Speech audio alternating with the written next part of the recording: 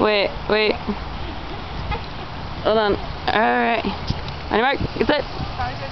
Just do it. Got it.